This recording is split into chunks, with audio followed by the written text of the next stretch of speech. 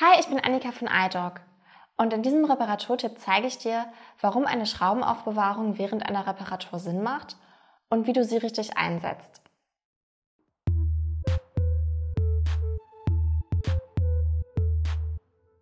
Wir empfehlen es dir, während der Reparatur eine Schraubenaufbewahrung zu verwenden, um Schrauben und Kleinteile übersichtlich und sicher aufzubewahren. Als Schraubenaufbewahrung eignen sich zum Beispiel Eierkartons, kleine Schälchen oder eine Magnetmatte. Vor allem für eine iPhone-Reparatur ist eine Magnetmatte praktisch, da man bei den vielen verschiedenen Komponenten, Schraubenarten und Längen ansonsten schnell mal den Überblick verliert.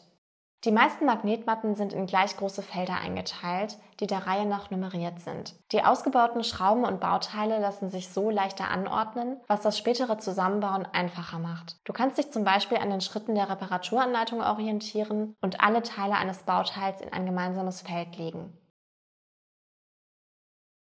Eine weitere Möglichkeit wäre, die Bauteile so anzuordnen, wie sie im Gerät verbaut waren.